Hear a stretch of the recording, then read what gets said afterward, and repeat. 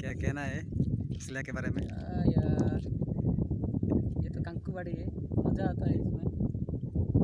और बहुत अच्छा जगह है गाँव भी बहुत अच्छा है। अच्छा ठीक है। हाँ। कोई आएगा तो थोड़ा इधर आओ रायगढ़ आएगा तो विषम कोटक के पास कंकुबाड़ी है गाँव। अच्छा। कंकुबाड़ी के पास आ जाओ और घूमो बहुत मज़ा आएगा। एंजॉय करो।